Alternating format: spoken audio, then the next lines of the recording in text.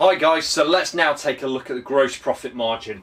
Okay, so this measures gross profit as a percentage of revenue overall, okay? So it's simply calculated via gross profit margin equals your gross profit divided by your revenue times 100. It's a nice straightforward calculation to actually use. And as you can see, I've written out an example here where we've got £45,000 of gross profit. We've got £100,000 of revenue into the business. Uh, we can multiply this by 100 and we can then see that that would equate to a 45% uh, gross profit margin.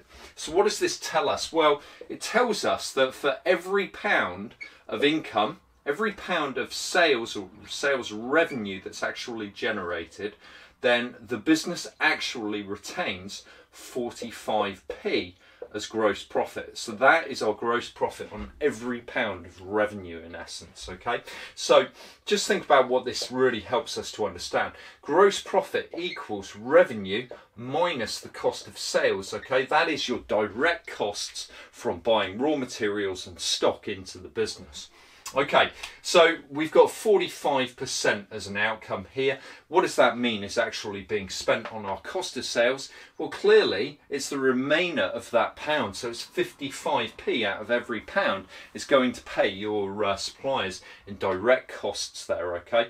Um, so we've got a uh, a cost of sales effectively running at 55%, our gross profit margin is 45%. But in the last period, this business actually maintained a uh, gross profit margin of 50%.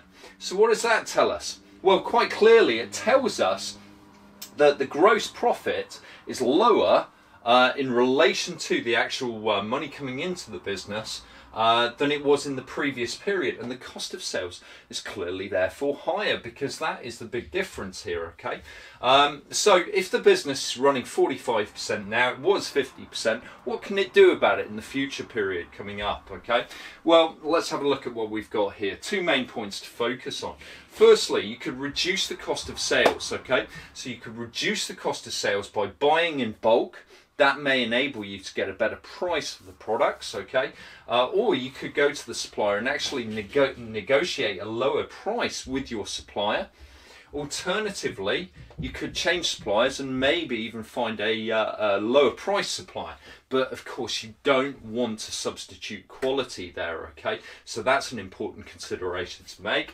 Uh, or our second method here, you could increase the sales price. So if this cost of sales is actually increased because of rising inflation, i.e. the, uh, the actual uh, stock that you're buying is more expensive than it was in the last period, then uh, you may be able to get away with increasing the price, particularly if the demand for your product is high or if your product has certain unique characteristics and doesn't have direct substitutes. Okay, for A-level students, of course, you'd then want to bring in price elasticity of demand and the relative elasticity of the product, okay?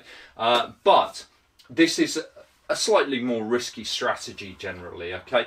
Uh, so it's worth bearing in mind simply of course increasing your sales overall will not actually change that margin uh, because you'll still be paying the same price for your cost of sales okay? Uh, interesting stuff. Thanks for joining